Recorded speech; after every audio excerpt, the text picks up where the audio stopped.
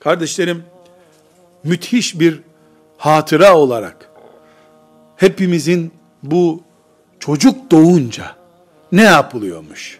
Ana kim? Baba kim? Örneğini tabiinden bir zattan nakledeceğim.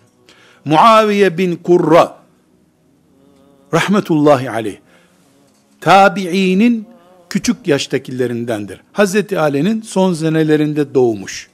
Radıyallahu anh. Ama tabiinden. Yani Resulullah sallallahu aleyhi ve sellem Efendimizin en iyi dediği ikinci nesil. İya, İyas isimli oğlu doğmuş. Hayattaki tanıdığı ashab-ı kiramdan yaşayanları evine çağırmış. Onlara yemek ikram etmiş doğumda. Yemek yerken sahabiler Allah yavrunu mübarek etsin diye dualar etmişler. O da teşekkür etmiş. Sonra demiş ki bakın Resulullah'ın ashabı beni dinleyin demiş. Sallallahu aleyhi ve sellem. Size yemek ikram ettim. İyas yavrumun akikasını yediniz, dualar ettiniz. Allah sizden razı olsun.